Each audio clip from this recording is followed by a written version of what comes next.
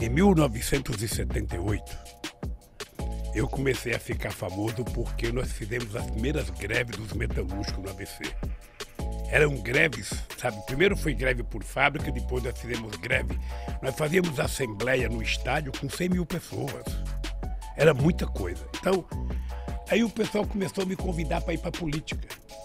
E eu dizia assim, eu achava que eu era inteligente, eu dizia assim, eu não gosto de política, e não gosto de quem gosta de política. Eu achava que era o máximo. A imprensa batia palma, eu saía na primeira página dos jornais. Finalmente surgiu um operário que não gosta de política, ele não quer o poder, ele só quer melhorar um pouquinho o salário dele e tal. Uhum. Aí, cara, foi passando três, quatro meses. Eu tava na rua fazendo campanha, sabe para quem? Pro Fernando Henrique Cardoso. Por quê? Quem, por Porque ele era candidato ao Senado Sabe, ele disputava com o Montoro e com o Cláudio Lembo. E ele tinha votado do exílio, era uma figura interessante, porque era mais jovem, porque era um cara mais à esquerda, sabe? mais à esquerda, mas depois ficou mais à direita tal. Mas eu tinha uma boa relação com ele. E não foi ele que pediu para mim, não. Fui eu que fui pedir para ele para apoiá-lo. Eu e muitos sindicalistas. Aí depois eu descobri, eu descobri que se a gente não cria um partido político, a gente estava ferrado. Porque você nunca pode esperar que alguém faça por você aquilo que você mesmo tem que fazer. Então você fica esperando que o Congresso Nacional aprove as coisas boas para o país. Você já parou para analisar quem é que está no Congresso Nacional? Você já viu o prontuário de cada um? Você já viu a ficha de cada um? Você já viu a origem de cada um? Se você não vê isso, você não vai saber votar. Se você não vê, você vai votar equivocadamente. É como se você fosse colocar uma raposa no seu galinheiro achando que a raposa vai engordar as galinhas. Não vai, vai comer as galinhas. Então eu descobri que era preciso fazer um partido. Descobri porque eu fui no Congresso brigar para não aprovar uma lei. E quando eu cheguei lá, eu percebi que não tinha nenhum trabalhador.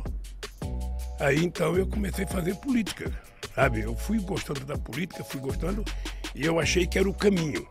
Se você está descontente com alguma coisa, é através da política que você vai mudar.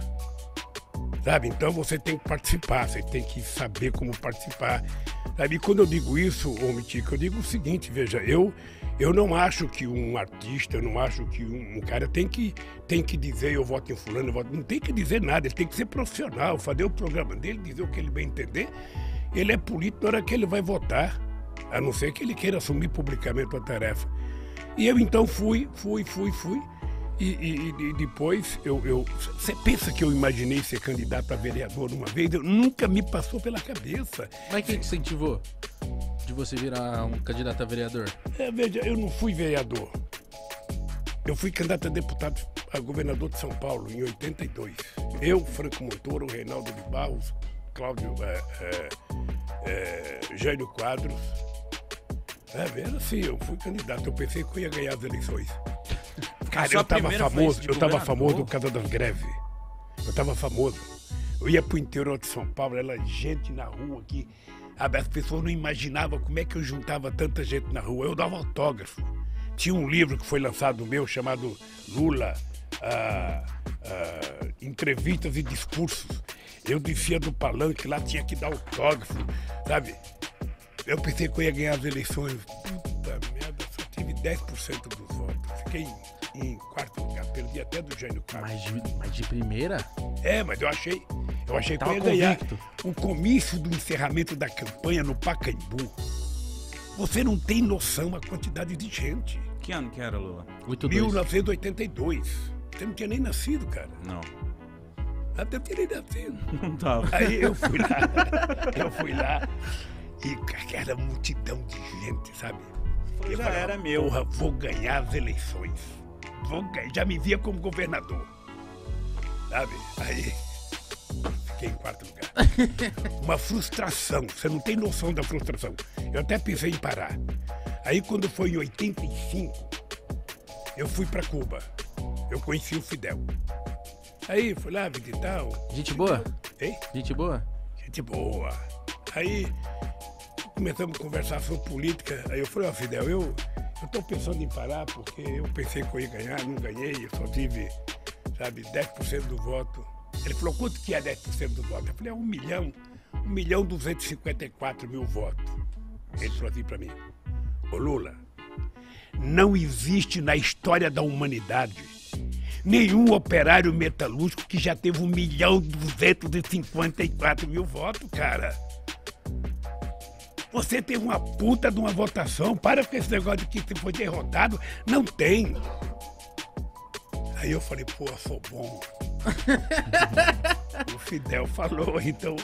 Sabe, então foi, foi muito bom, porque isso me deu coragem de entrar na política, eu fui aprendendo. Era muito chato, porque eu imaginava que todo trabalhador ia votar em mim. Sabe? Eu falava, bom, eu sou, sou trabalhador, sou do Partido dos Trabalhadores, todo trabalhador vai votar em mim. Eu ficava nervoso, mais nervoso. Eu ia, eu ia fazer comício na estrada, chegava, sabe, nos conta, a classe média, sabe, apoiava a gente, batia palma, sabe, nas universidades, todo mundo. Mas quando eu, eu, eu passava nos caras que estavam colhendo algodão, eh, cortando cana, Aí eu ia fazer passeata aqui em São Paulo, no centro de São Paulo. Aí quando tinha um trabalhador trabalhando numa construção na Casa Civil, todo mundo, Lula, Lula, um trabalhador, um trabalhador. Aí já mandava eu levantava, eu levantava a boca. Mas por que você acha que você não era popular com os trabalhadores nessa época? Não, é porque é o seguinte, o povo não tinha o hábito de fazer política. Política era uma coisa estranha. Esse, esse é um país em que demorou a mulher só foi ter o seu primeiro voto em 1934 porque ganhou na justiça. Esse é um país que só votava dono de proprietário de terra, gente alfabetizada e gente que tinha conta até de 200 mil réis. Pobre, analfabeto e peão de fábrica jamais votava. Aí o pessoal também falava, com esse Lula é um analfabeto igual eu, porra, por que, que eu vou votar nele? Ele não tem condições. Aí eu descobri, eu descobri que leva tempo, viu, Gão? Leva tempo você convencer as pessoas das coisas. Aí é um trabalho de muito debate, de muita discussão. Quando eu passo num lugar que eu vejo um cara ser contra a política, eu não acho ruim. Eu, eu, eu fico só imaginando que informação que ele recebe todo santo dia.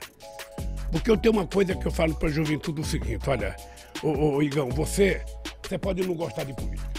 Tá? Você pode dizer, eu não gosto de política, política é tudo ladrão, Lula é ladrão, sabe, Haddad é ladrão, uh, Fernando Henrique Cardoso é ladrão, uh, Bolsonaro é ladrão, uh, Dória é ladrão. Você pode dizer tudo o que você quiser.